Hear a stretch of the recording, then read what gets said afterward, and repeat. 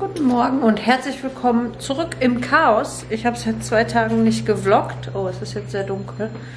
Es ist noch früh morgens. Jetzt ist es sehr hell. Sorry für die Bedingungen. Ähm, wir haben halb acht. Die Männer sind gerade aus dem Haus. Was ihr so hört, ist Calvinos Turbo-Wecker, den ich euch letztens vorgestellt habe.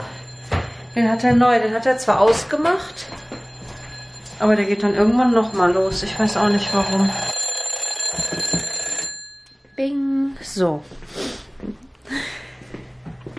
Das waren zwei unglaubliche Nächte, sag ich euch. Unglaublich. Ich war zwei Nächte lang jeweils von 6 Uhr wach. Äh, von 6 Uhr. 6 Uhr stehe ich auf. Von 1 Uhr war ich wach. Und ähm, bis 6 Uhr oder 5, 6 Uhr war ich wach und dementsprechend müde. So, jetzt muss ich euch mal eben abstellen. Denn ich suche gerade Sachen raus, Bettzeug. Weil, wenn wir ins Geburtshaus gehen, also zur Geburt, dann schlafen meine Schwiegereltern hier. Und ich wollte den frisches Bettzeug in den Bettkasten unten legen. Und das äh, muss ich jetzt halt gerade raussuchen. So. Das sind zwei Decken. Okay. Mhm. Dann wasche ich das alles nochmal durch.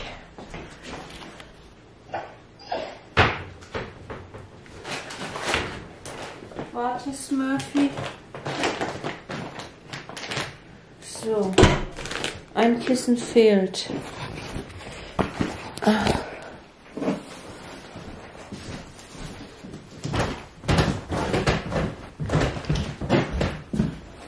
Also eigentlich wollte ich es neu bestellen. Neue Kissen, neue Decken und alles. Ich dachte nicht, dass ich noch zwei große Decken und alles habe für Gäste. Habe ich aber noch. Muss mein Shake da. Dann brauche ich das gar nicht kaufen. Oder wir. Weil ich wollte es halt wirklich frisch gewaschen in den Bettkasten legen, ohne Hundehaare und so. Das wäre mir schon peinlich gewesen. Weil ich kann das ja schlecht planen. Also, ne, ich, man weiß ja ungefähr, wann der Termin ist. Smurfy, aus. Aus! Du ist fein. Man weiß ja ungefähr, wann der Entbindungstermin ist. Also der 16.01. bei uns. Aber so wirklich garantieren kann ich das ja nicht, dass ich dann sage, ich wasche unsere Bettwäsche zu diesem Datum sauber. Und dann haben die halt hundehaarfreie Bettwäsche und alles. Ne, ich versuche immer täglich das Sofa abzusaugen und die Decken auszuschütteln, dass da nicht so viele Hundehaare sind, dass wenn doch irgendwas ist, dass es hier so hundehaarfrei wie möglich ist und sauber wie möglich, dass die sich halt wohlfühlen, ne, wenn, wenn die dann hier hinkommen. Aber ja, das kann ich halt schlecht genau vorausplanen. Ich wurde gefragt, ähm, ob ich ein Rezept, also das Rezept für den Shake nochmal sagen kann. Kann ich. Ich habe es schon ganz oft mitgeteilt. Mm, aber ich sage es euch gerne nochmal. Ich mache immer für Bernd und mich. Calvino trinkt einen kleinen, so einen Shot quasi und Smurfy auch manchmal. Ähm, zurzeit mache ich 10 Teelöffel Leinsamen rein für Omega-3 erstens. Ähm, ist ja ganz wichtig, Omega-3-Fettsäuren. Dass man ein gutes Omega-3 zu 6 Verhältnis hat. Und normalerweise nehme ich 4 Teelöffel. Aber jetzt, wo ich schwanger bin, nehme ich 6. Dann nehme ich ähm, drei Paranüsse kommen da rein fürs Selen. Dann kommen ähm, 10 bis 15 Datteln rein, also so getrocknete Datteln in Wasser eingelegt über Nacht, dass sie halt nicht mehr so hart sind. Wenn die so hart sind, sind die selbst für diesen Hochleistungsmixer ähm, sehr hart, also sehr schwer zu mixen. Der macht das, aber ich habe dann immer Angst, dass ihm was passiert. Und den haben wir schon fünf Jahre jetzt, den Mixer. Damit kann ich Eis machen, also gefrorene Bananen mixen, alles Mögliche und auf den passe ich auf. Ähm, ja, halt die Datteln, dann kommt da ungefähr 1 bis 1,2 Liter Wasser rein und das wird erstmal gemischt, bis es so wie ein Shake ist. Und dann kommen da zurzeit vier reife Bananen rein. Wichtig ist, dass sie reif sind. Dann sind die schön süß und machen keine Verstopfung. Viele fragen immer, ob ich Verstopfung habe oder wir, weil wir so viele Bananen essen. Das seht ihr auch immer in der Küche. Da sind immer viele Bananen. Halt, dass sie reifen können. Ne? Wenn man die kauft, dann sind die meistens grün oder so hellgelb so und dann sind die echt nicht reif. Ne? Dann muss ich erst die Stärke in Zucker umwandeln, dann sind die süß und verstopfen nicht mehr. Das erkennt ihr daran, wenn die die braunen Punkte bekommen. Ich glaube, also jeder braune Punkt ist ein Insektenstich oder so. Ich weiß es nicht genau, ob es stimmt. Ich habe es mal irgendwo gelesen. Vier davon und dann kommen Tiefkühlfrüchte meiner Wahl rein entweder Erdbeeren oder rote Früchte oder Ananas oder Heidelbeeren habe ich auch schon gehabt. Ja, äh, wo war ich jetzt stehen geblieben? Tiefkühlfrüchte, halt, müsst ihr mal gucken. Wir holen die entweder bei Aldi oder Lidl. Mir, also ich habe halt ganz gerne, ich gucke auf die Rückseite der Tiefkühlfruchtseite und da steht dann, was drin ist und ich habe die halt gerne so ohne Aromastoffe und so halt wirklich nur, so zum Beispiel nur Himbeeren, 100% Himbeeren. Und ja, davon mache ich dann ungefähr 350 Gramm da rein. Und die kommen als letztes oben drauf und dann müsst ihr schnell mixen. Weil wenn ihr das dann erst stehen lasst mit dem Wasser, dann bildet sich oben halt durch diese Tiefkühlfrüchte Entschuldigung, so eine richtige Eisschicht. Und dann wird es schwer, die zu mischen. Deswegen sofort mixen. Und ähm, ja, dann kommt hier sowas Feines. Wir haben heute Ananas und Erdbeeren drin. Genau. Und das trinken wir seit Jahren fast jeden Morgen. Sonntags meistens nicht, weil wir da so Familienfrühstück machen. Ne? Da haben wir Zeit, da machen wir uns hier so Bacon und Ei und Brötchen, mal vom Bäcker, mal backen wir die auf. Und Ananassaft und Orangensaft und so. Und ja, aber den Rest der Woche gibt es das als Frühstück. Genau, das wollte ich euch sagen. Dann, ähm, sorry, dass ich so fertig aussehe. Habe ich euch ja gerade schon erzählt, dass ich schlecht schlafe seit einigen Nächten. Deswegen nicht gevloggt habe, weil ich mich echt nicht aufraffen konnte. Dann hatten wir gestern Termin bei der Hebamme. Ähm, da ist alles gut. Ich bin ja jetzt 34. Schwangerschaftswoche. Nächste Woche fängt die Akupunktur schon an. Wir haben einen Zettel bekommen, was wir alles zur Geburt mitbringen müssen. Und ich habe euch ja schon erzählt, dass wir so dabei sind, alles zusammenzusuchen. Und ich hatte eine Liste geschrieben, da hatte auch die Elvira mir geraten, schreib dir eine Liste, wo du abstreichen kannst. Das habe ich schon gemacht. Ähm, und das meiste ist jetzt tatsächlich da zusammengesucht. Ich sehe echt wüst aus, ne? Sorry, ich gehe gleich erstmal duschen. Ja, das meiste ist da und jetzt hat Bernd, drängelt der, der Bernd, dass ich halt alles einpacke in eine Tasche, dass es wirklich alles fertig ist. Und ich scheue mich noch so davor, das äh, in die Tasche zu packen. Ich weiß auch nicht warum. Ich habe halt jetzt die Babysachen alle gewaschen. Ähm, ja, ich bräuchte es nur noch einpacken, ne?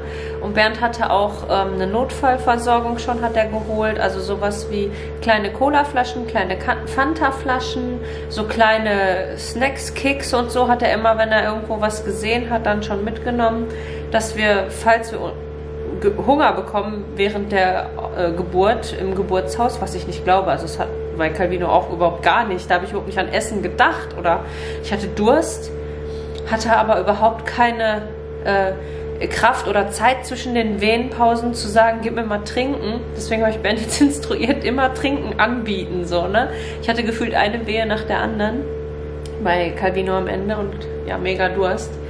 Und ähm, ja, sowas hat Bernd halt schon zusammengesucht und wir haben gesagt, das packen wir einfach schon mal ins Auto.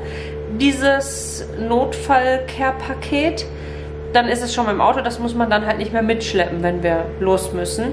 Allerdings sieht unser Auto aus wie Sau. Also wir sind ja umgezogen, wie ihr wisst. Und wir hatten ähm, ein Umzugsunternehmen, aber so einige Sachen haben wir dann doch mit dem Auto transportiert.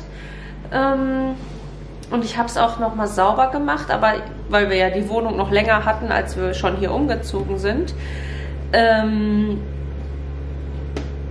sieht das Auto aus wie Sau. Und ich mache es heute einfach nochmal sauber. Deswegen ist jetzt der Plan, ich mache ein bisschen hier grob den Haushalt, gehe duschen und ähm, gehe dann mal das Auto sauber machen. Das mache ich am Laden, äh, weil das da einfach besser ist mit den, also dann kann Bernd mit dem Smurfy und ich gehe das Auto sauber machen und ich muss auch noch in der Stadt ein paar Sachen erledigen und so.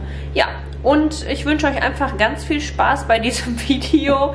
Wir lassen den Tag wieder auf uns zukommen. Ich weiß nicht, wenn ich Vlogs schaue von anderen, dann ist es immer so total strukturiert. Die sagen so morgens in die Kamera, ja, wir machen heute das und das und das. Und dann weiß man schon, was man sieht in den Vlogs. So, ne? Und bei mir ist es immer, das ist der Plan, aber ich weiß nicht, ob es wirklich dazu kommt. Oft ist der Plan dann anders. Deswegen, also, sorry, also so, wir sind halt ein bisschen chaotisch. Soweit ist alles erledigt. Ich bin wieder zu Hause. Es ist jetzt schon einige Stunden später. Wir haben Viertel nach eins oder so. Äh, Mittagspause. Und ähm, Bernd ist jetzt eben mit dem Smurfy spazieren gegangen. Und ich räume hier den Einkauf aus. Also wir waren gestern schon Großeinkauf im Real machen und hatten aber einige Sachen nicht bekommen. Und deswegen war Bernd, bevor Mittagspause war, eben noch im Aldi und hat das geholt. So Kohlrabi, Pilze. Oh, ist das hell, ne? Da, Pilze. Wir haben diese Woche äh, Pizza machen wir selber und deswegen brauchen wir immer Pilze dafür. Ja. Und zu essen, eigentlich wollte ich heute schön Kohlrabi-Gemüse machen. Aber weil wir jetzt so lange, also so spät komme ich erst nach Hause. Deswegen, ähm, was wollte ich jetzt sagen? Deswegen haben wir uns jetzt einfach eine Pizza reingehauen. So, ich räume jetzt alles weg und den Kamin muss ich wieder anmachen. Der ist aus, weil ich so lange weg war. Und die Putzlappen vom Laden hier, die muss ich waschen. So, dann bringe ich die schon mal hier in den HWR. Zack. Die ist auch fertig, die Maschine.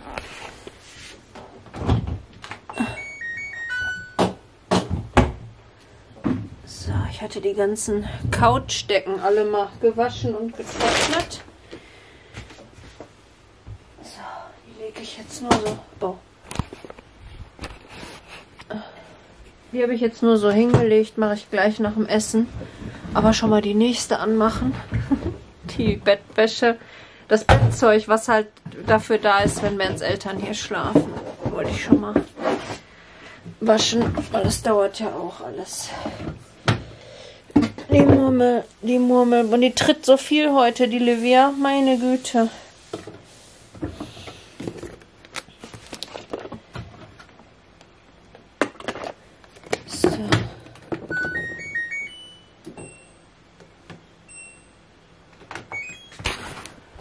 Okay.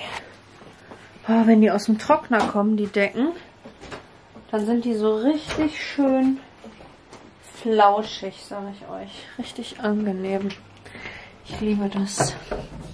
Ach, und Malzbier hat der Bernd mitgebracht. Fürs Wochenbett ist das, weil ich ja, ja, wenn ich still und so, soll das ja helfen. Und das ist die Tüte, die ins Auto kann.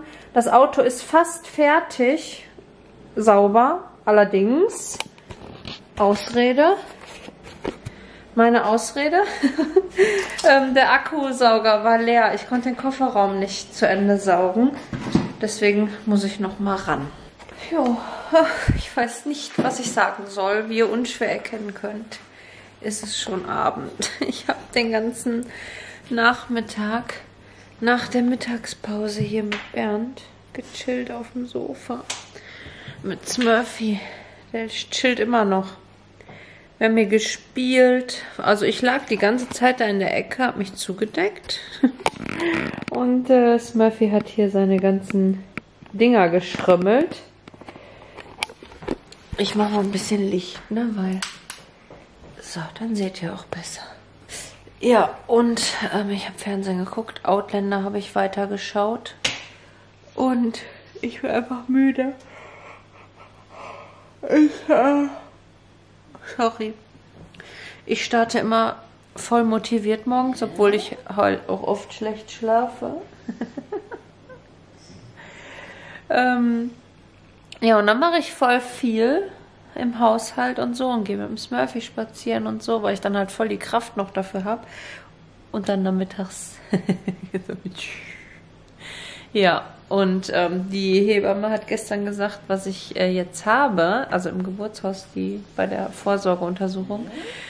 Äh, das sind nicht mehr Übungswehen, das sind jetzt Senkwehen. Los, du kleiner Schrömmel? Du bist müde, ne? Das sind Senkwehen und das ist auch schon runtergerutscht, das Baby. Also es hat noch Platz, es muss noch weiter rutschen.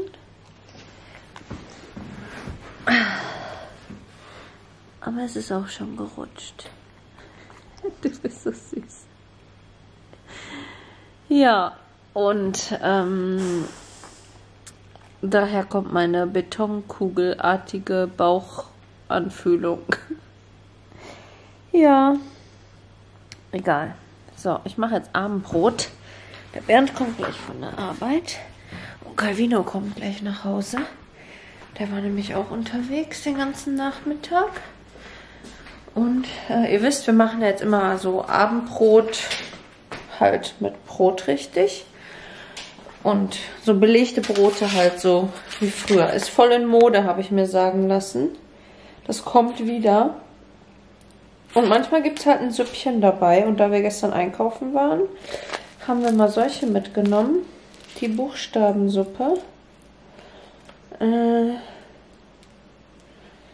natürlich wäre eine selbstgekochte wesentlich gesünder und schmackhafter.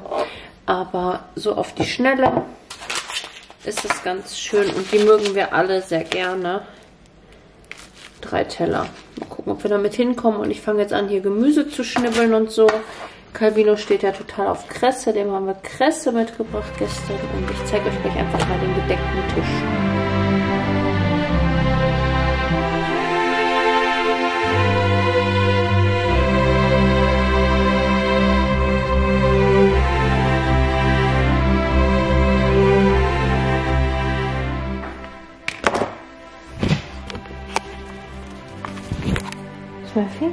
Auf deinen Platz.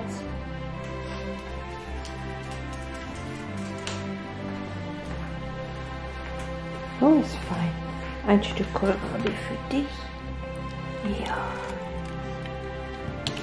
Hm, lass dir schmecken.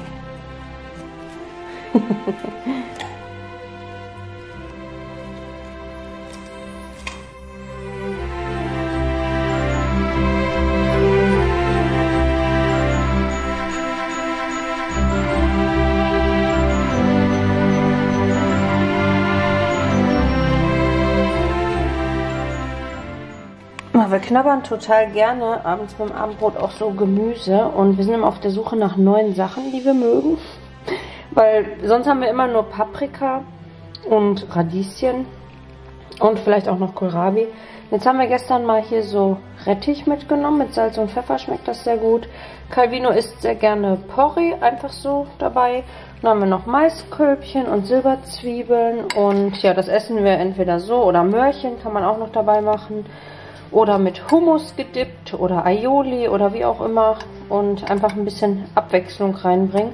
Und ich sage euch ja immer, wenn ihr das so anrichtet, dann mögen das auch die Kinder. Also die greifen dann einfach zu. Also, hier ist die Gemüseplatte, die habt ihr schon gesehen. Und dann haben wir, ja, habe ich euch alles schon gerade erzählt, halt verschiedene Brotsorten. Hier haben wir so Paderborner und ähm, nochmal Paderborner mit Toast. Das ist von Geiping so ein Brot. Das sind einfach so Bauernschnitten. Aioli, Schmelzkäse, Kresse. die Kresse macht Calvino sich zurzeit total gerne auf diesen Schmelzkäse. Hier haben wir verschiedene Aufschnitte. Ja, und für jeden einen Teller und ein Schälchen. Die Suppe dazu. Und das lassen wir uns jetzt schmecken. Echt diesen Ascheeimer da bestellen. Da sind schon Nein, habe ich noch nicht bestellt. Mache ich gleich. Und das wird echt einiges erleichtern, ne? Mhm. Und dann macht man dann die Asche, rein. ja, die macht man in den Ascheeimer, aber dann kann man die Asche von dem Ascheeimer in die Aschentonne draußen machen, ne? Dann muss man nicht mehr hier in so eine doofe Plastiktüte reinmachen.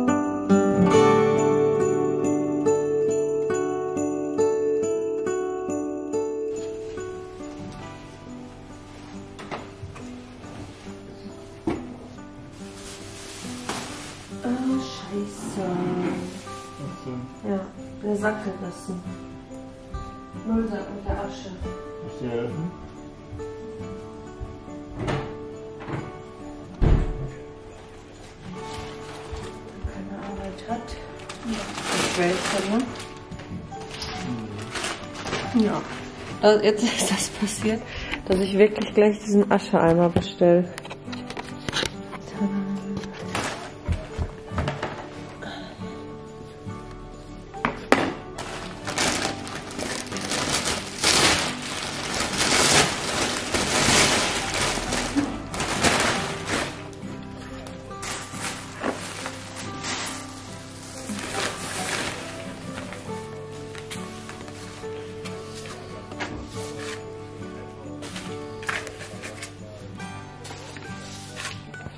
Smurfy? Adventskalender. Ja. Ja, der ist ein bisschen, die fallen dann immer raus, ne, die Leckerchen. Ja, Ja. Aua, bin ich gestoßen. Er sagt, er ist bereit. Er wartet nur auf dich.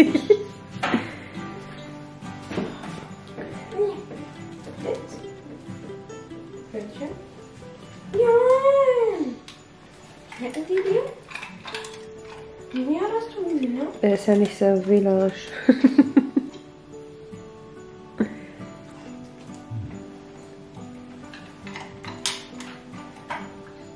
Wie viele sind da drin eigentlich? Was ist Drei. das? Wieder diese Lungendinger? Mhm, wollen wir nicht sicher, ich glaube schon. Ja. Nein. ja. Smurfy, jetzt kannst du hier noch aufräumen, deine ganze Wolle, die du wieder verteilt ist hast. genau sein Ding, er. Ja. So, dann müssen wir noch Schulbrote einpacken, ne?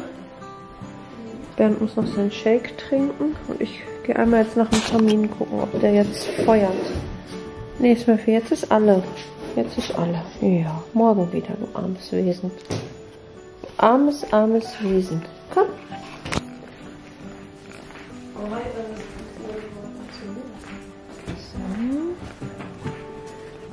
So. Ja, es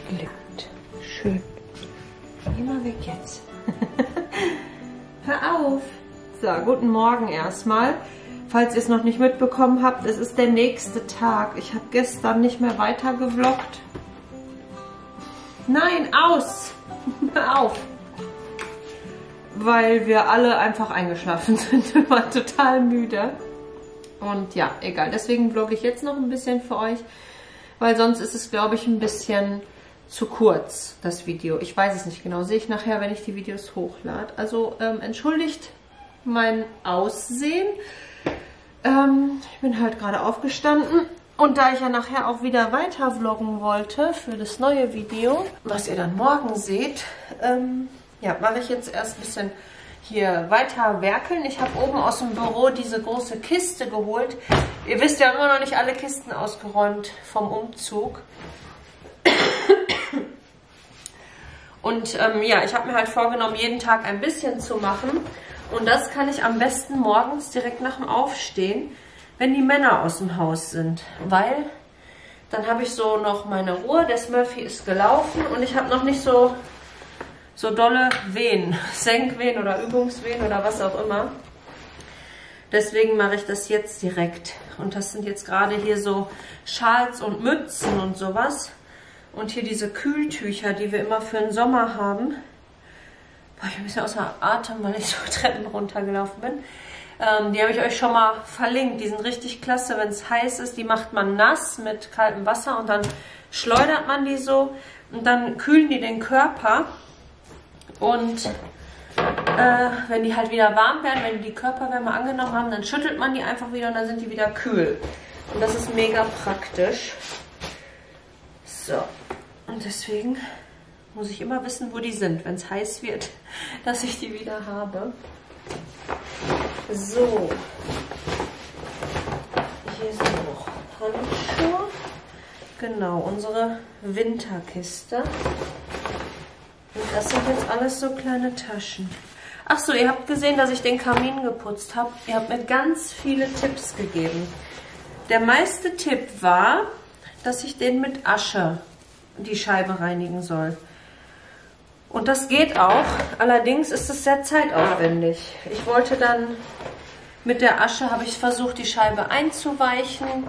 Ähm, ja, dass halt dieses Ruß erstmal einwirken kann oder so, aber das hat nichts gebracht. Ähm, also da hätte ich gerne nochmal einen genaueren Tipp. Wie macht ihr das? dass es einfach schnell abgeht. Also es geht ab, aber es ist sehr zeitaufwendig, dieses Schrubben. Und deswegen wir haben, äh, haben wir noch diesen Backofenreiniger jetzt verwendet. Und ähm, ja, dann habt ihr gesagt, dass man soll auf jeden Fall richtiges Holz verwenden und nicht diese Pressholzbriketts oder wie auch immer die heißen, die wir da jetzt haben. Und ähm, ja, möchten wir auch. Ähm, allerdings haben wir jetzt was gesucht, einfach was schnell geht und wir probieren uns so ein bisschen rum. Während es, wenn es schönes, also schönes Wetter in Anführungsstrichen, Wetter ist, holt er heute Nachmittag Holz ab. Da wurde ein Baum gefällt und ähm, ja, das Holz sägt er dann klein und holt das ab und bringt das hier hin. Und dann muss das ja erstmal, wenn ich mich recht erinnere, zwei Jahre lagern, oder? Ein frisch gefällter Baum der muss zwei Jahre erstmal lagern, damit das Harz irgendwie, keine Ahnung, verharzt oder so. Ich weiß es auch nicht so genau. Schreibt mir mal eure Erfahrung bitte in die Kommentare. Ähm, ich hatte auch ein, zwei Kommentare, dass ich halt nicht auf eure Tipps höre und so. Das stimmt nicht. Ich probiere das schon alles aus. Nur wenn ihr mir den Tipp gibt, irgendeinen, jeglichen Tipp, ähm, die Videos sind zwei Wochen Zeit versetzt. Das habe ich schon mal erzählt, weil wir ja im Januar Entbindungstermin haben für unser Mädchen. Und ich weiß nicht, wie es uns danach geht. Ich hoffe, es geht uns gut. Und wir können direkt weiter vloggen und schneiden. Aber ich vermute, dass uns die Entbindung richtig aus der Bahn werfen wird. Und halt die Ankunft unseres Babys. Und deswegen könnte ich mir vorstellen, dass ich es vielleicht nicht schaffe. So, also schon vloggen, das schaffe ich. Die Kamera hochzuhalten ist das Problem, aber das Schneiden halt ist manchmal recht zeitaufwendig. Und das würde ich dann halt im Nachhinein alles schneiden, ne? dass man erstmal ein, zwei Wochen ankommt. Und deswegen habe ich jetzt zeitversetzt die Videos, dass ich halt Material habe, dass ihr nicht zwei Wochen gar keine Videos habt, sondern halt wenigstens ein bisschen. Und ähm, ja, natürlich werden wir dann die Geburt auf Instagram bekannt geben. Also das, da ist es halt dann nicht zeitversetzt, sondern in real time ist Instagram und Facebook. So, und jetzt gucken wir mal, da oben wollte ich jetzt über die Garderobe die Kiste hinstellen. Ich weiß allerdings nicht, ob sie passt. So.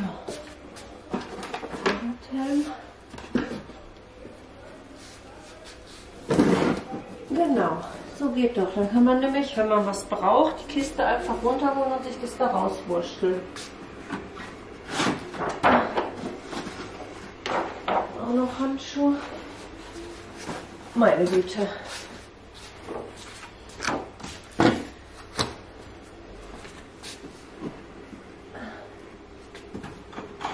Seht ihr, das ist nämlich alles immer einfach nur hier so draufgelegt. Und da muss man ja alles immer runterholen. Das merke ich jetzt erst, dass da so viel oben drauf liegt. So.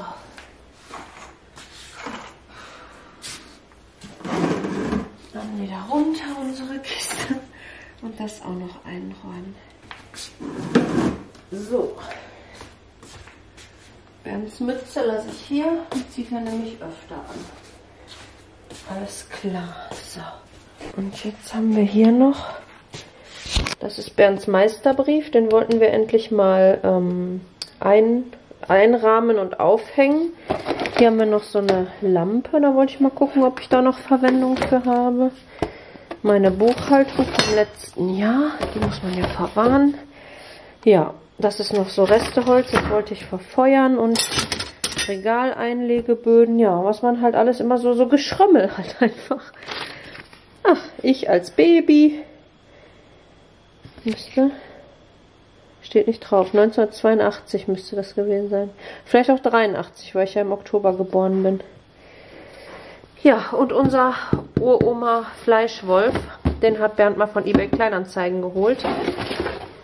Und da wir ja noch Spritzgebäck machen möchten, ähm, habe ich den jetzt direkt mit runtergebracht und bringe den gleich in HWR.